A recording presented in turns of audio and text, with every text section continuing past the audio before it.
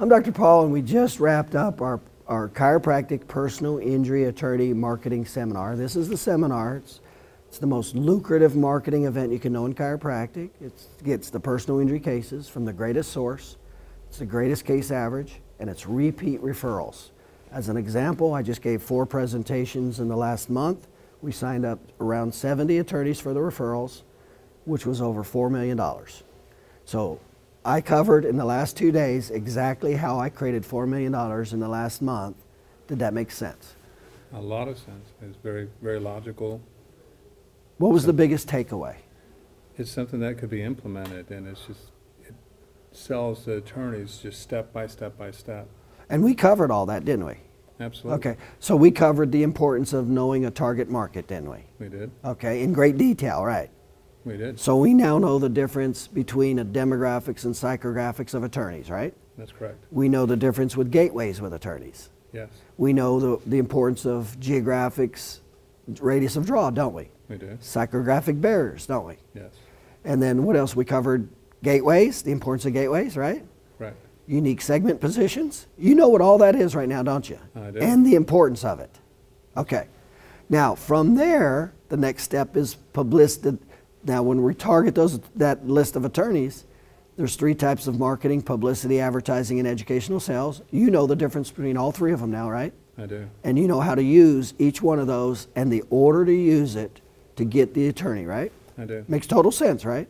It does. Did anything not make sense when we covered that? It was totally logical and. And have you ever heard that anywhere in chiropractic? That kind of that that kind of specificity in that order. Never. And yeah. Then we did the most important thing, which was the actual educational sales presentation. How was that? It was amazing. In what way? It was because it was so logical. I mean, by the time you got done, I was ready to be an attorney and Right. do the right. work. Matter of fact, you saw me give the presentation where I signed up attorney that had uh, what he had 30, 30. cases a month, right? And he came in and he was then had no intention on referring me those cases, did he? When he first came in, He did not. and then when I was, you saw me give the presentation to him, and at the end of that presentation, you saw him. He got out all his business cards and he ran up to you and asked you, You saw Yeah. him, right? You saw him wanting to refer all those patients to me so I could do what I just talked about, right? absolutely. that was worth about what 20 and he said about 25 out of 30 of those cases were soft, tissue, tissue. alone that nobody else could help them with. Orthopedist couldn't neurologist couldn't neurosurgeon couldn't. Nobody else could help him but now he knows how i can help right? That's what that did. Yep. that was worth if case averages if it's a case average of three to uh, if it's only $3000 that was what maybe a million dollars depending on the case average right? Three to five thousand dollars a case average. So that was anywhere from what uh, one to two to three million dollars from one presentation and you saw it didn't you? I did see it. yeah. That was pretty crazy wasn't it? It was amazing.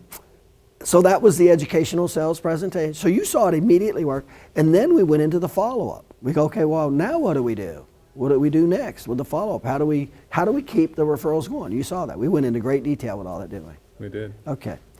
Uh, what would you say about anybody who's looking into you know doing personal injury doing personal injury documentation especially the marketing or especially the personal injury attorney marketing what would you recommend to them relative to this information I'd run to this seminar. Now you've been around a while, Uh, a 30 long- years. Unfortunately. A lot of seminars, a lot of personal injury seminars. Yes, Yeah. Ever seen anything like this? nothing. Right. And what was the real difference? Why is this so different? When anybody hears this, they go, "Why is this so different than anything else in chiropractic?"